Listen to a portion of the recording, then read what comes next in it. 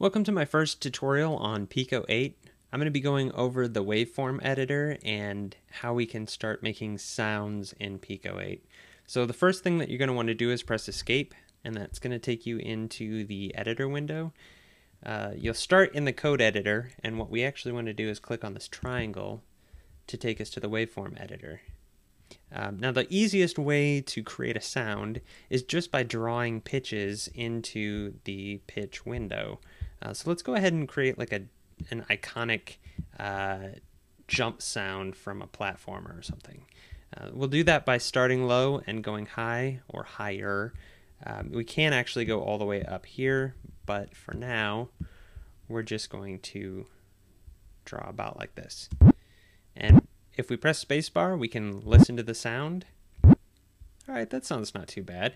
Um, but I think it's a little loud at the end, so I want to actually fade it out a little bit, and I'm going to do that by left-clicking in the volume area and dropping the volume down a little bit. That's not bad. Um, so this is our first sound, and it's it's sounding all right. Uh, I actually want to go and create another sound. So let's click on the right arrow here, and that's actually going to take us to the second sound. Now you'll notice that they start with 0 and they go all the way up to 63. So you can actually have 64 separate sounds um, in your game. Um, okay. Now, one of the things that you may have noticed is that the speed area changed from 0, 0 to 0, 1. Um, and what that means is this is actually the length of each step in the waveform editor.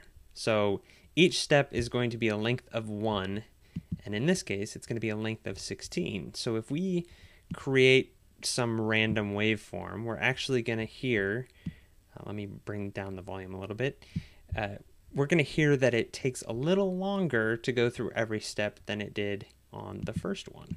Okay? And we could actually slow it down. Uh, if we left click in this area, it will increase the speed. Or we can right click in the area and it will decrease the speed.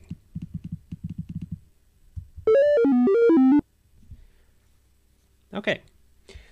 Now let's say that we wanted to take a section of this and loop it repeatedly. Um, that's going to be done in this loop section. So let's go ahead and set the end point, which is going to be this box. And we can do the same thing we did in the speed by left clicking in this area to increase and right clicking to decrease.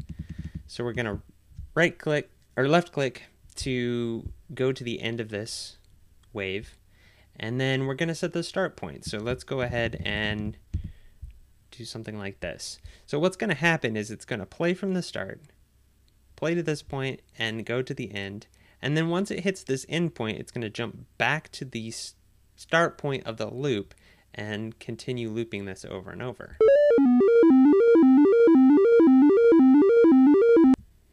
All right. And the way that you stop that is by pressing the spacebar. So it's exactly like you start it. Uh, you just press spacebar to stop. All right. So moving on, um, let's go ahead and check out some of the waveforms that we can use. So there's eight different waveforms that we can use in this editor. And the first one that we've been using is the sine wave. So let's go ahead and we're going to add in a fairly long sine wave and let's listen to that. All right, so it's got kind of a bell sound to it. Um, if we go on and Let's try the uh, sawtooth. I know I'm skipping this one, um, but the sawtooth is going to have sort of a buzzing sound to it. Um, now this one here, I'm not sure it has an actual name, but I'm going to call it the sine tooth wave uh, because it's kind of a mix between the sine wave and the sawtooth. And if we listen to this, you'll kind of notice that it sounds a little similar to both of those. All right, continuing on, we have the 50% pulse wave, otherwise known as a square wave. And this is used in a lot of chip tunes, like in the Amiga or uh, Commodore 64 or NES era. Um, so let's listen to how that sounds. And then this is the 25% pulse wave. So it's a little buzzier, a little harsher than the 50% pulse wave. And then I believe this is a mix between the square wave and the sine wave.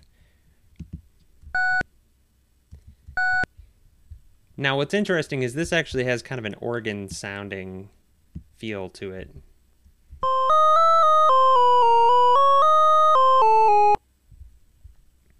All right, moving on, we've got the noise channel. Now this is going to sound kind of like the static on the radio or on like an old TV.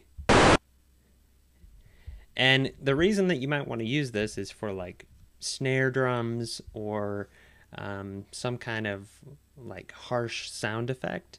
Um, you can also kind of make a an ocean wave sound or you know whatever. So you can kind of play around with the effects with this.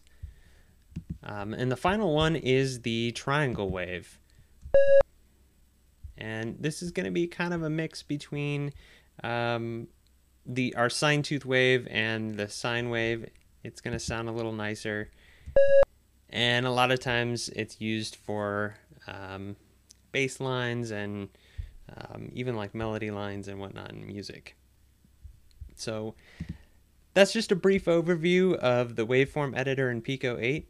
I hope you found this useful and the next video will go over the tracker view.